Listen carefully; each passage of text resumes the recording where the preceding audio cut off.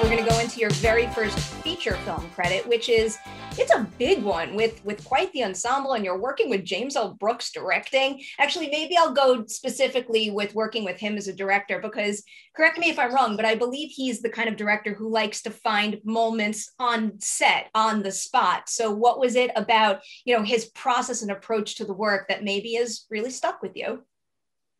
I mean, with Mr. Brooks, we were going to do it until he felt he had it.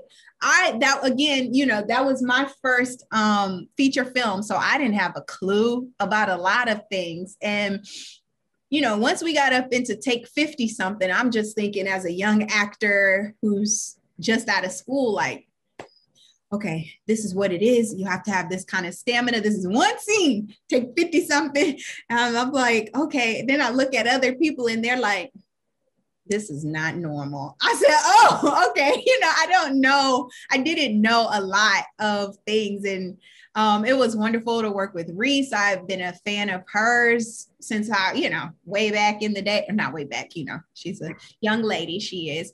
Um, but just such a huge fan of hers and to be able to work alongside her in my first feature film. And I remember this one moment where we were on the National Mall. So I'm in DC. I got to travel here to work. It's me and Reese, and we're our characters are racing.